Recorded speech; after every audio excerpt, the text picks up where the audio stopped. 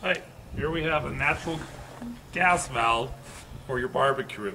Uh, this will not work if you traditionally have a propane. You're going to need to either have it converted, go to an ACE, give them all number, or buy a barbecue grill. that is specially made for natural gas.